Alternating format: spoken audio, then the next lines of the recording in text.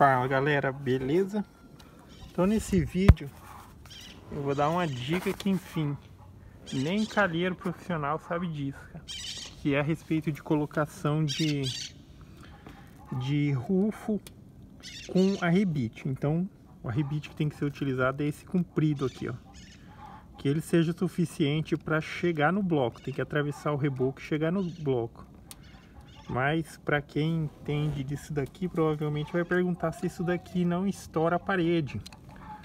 Sim, se você colocar da forma errada, sim.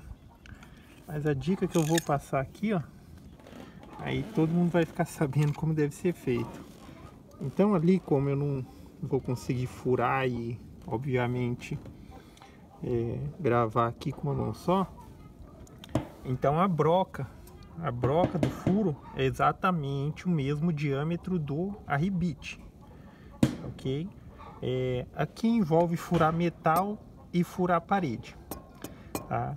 É óbvio que você tem a opção, ou você utiliza duas brocas, uma para furar só a telha e outra só para furar a parede, ou utiliza logo uma de ferro. Ela vai dar uma cegadinha, depois você afia, mas aqui tá feito um buraco, ó. Vendo? O, arribite ele tem que entrar bem justo no furo. E entrou na parede. Agora aqui que está o segredo, tá? Você vai começar a puxar o arribite aqui com a arrebitadeira. Que com uma mão não é nada fácil.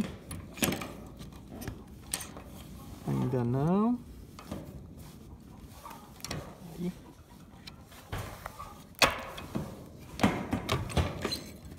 e fica olhando ali, ó.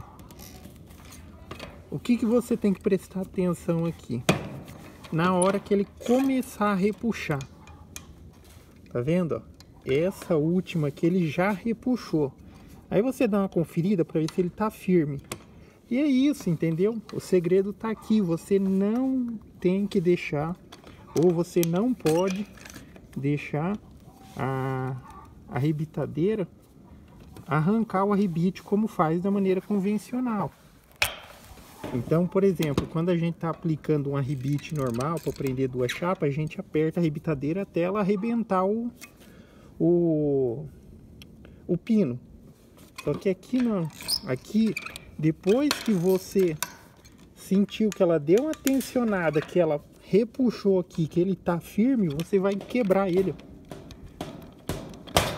Tá vendo? E a ideia é ele prender lá dentro e ficar segurando. E não, tipo, se você vem puxando ele, a chance de arrebentar o bloco, arrebentar o reboco é muito grande. Tá? Olha lá, ó. Isso facilita demais o serviço, cara.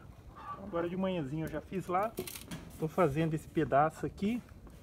E falta aquele pedacinho ali. Lá do outro lado também a mesma coisa. Só que lá foi feito o rufo diretamente com a telha. Beleza? Então é isso aí, galera. Gostou do vídeo? Dá um joinha, se inscreve no canal que em breve estarei postando mais vídeos. Falou?